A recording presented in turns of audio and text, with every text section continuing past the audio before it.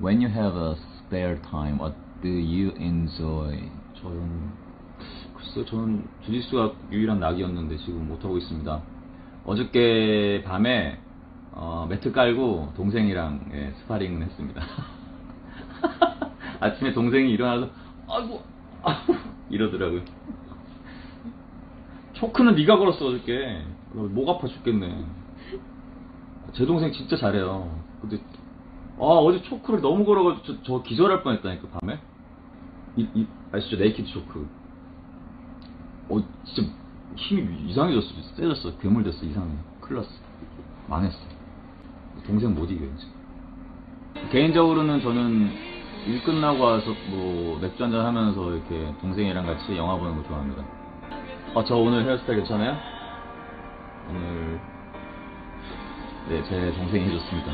간단하게.